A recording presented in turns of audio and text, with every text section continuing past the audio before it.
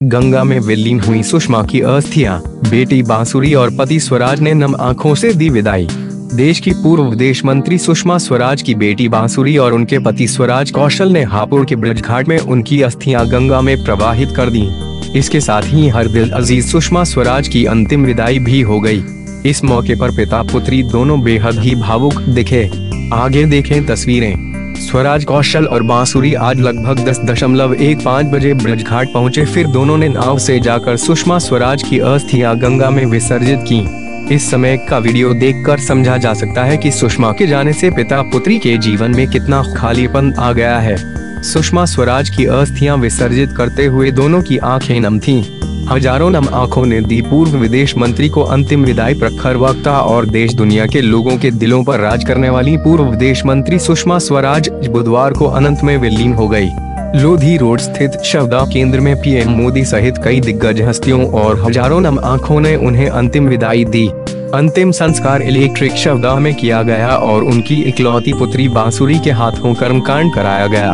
श्रद्धांजलि और अंतिम विदाई देते समय पीएम मोदी भावुक हुए तो उपराष्ट्रपति वेंकैया नायडू लाल कृष्ण आडवाणी और सपा सांसद राम गोपाल यादव फूट फूट कर रोते दिखे उन्हें श्रद्धांजलि देने में पार्टी लाइन टूट गई।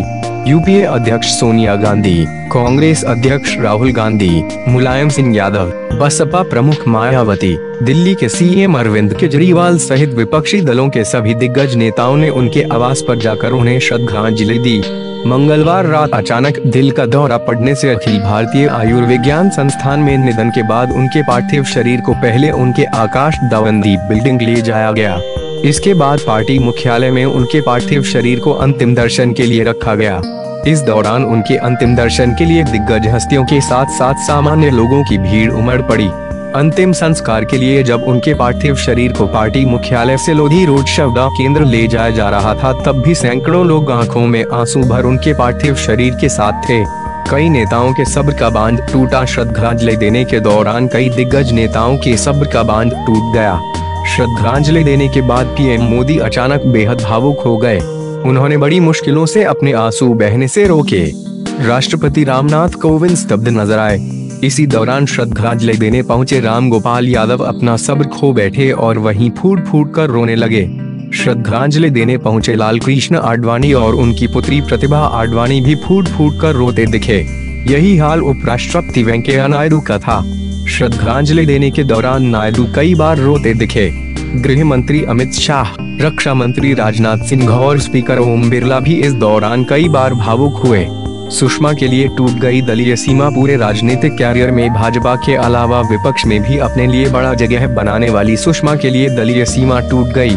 सोनिया, राहुल, मायावती, केजरीवाल, मुलायम, गुलाम नबी आज़ाद, अशोक गहलोत सहित सभी दलों के प्रमुख नेताओं ने उनके आवास और पार्टी मुख्यालय जाकर उन्हें श्रद्धांजलि दी इस दौरान इन सभी नेताओं की आँखें नम थीं।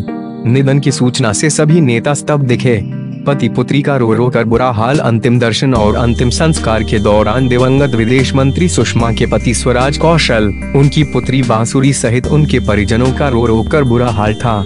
कौशल और बांसुरी लगातार रोते दिखे। अंतिम संस्कार से पहले अंतिम दर्शन के दौरान दोनों के सब्र का बाँध टूट गया। दोनों बिलख बिलख कर रोते दिखे। इस दृश्य को देखकर वहाँ उपस्थित हज़ारों लोगों की आँखें नम होगी